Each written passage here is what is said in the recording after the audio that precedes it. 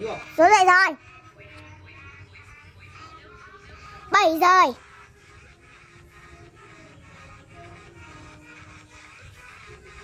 Mười.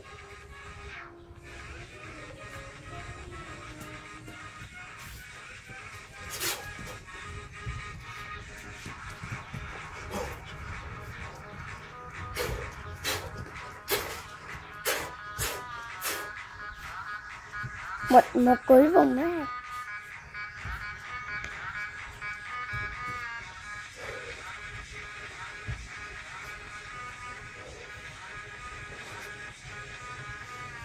nhanh lên. Cho gì rút đây?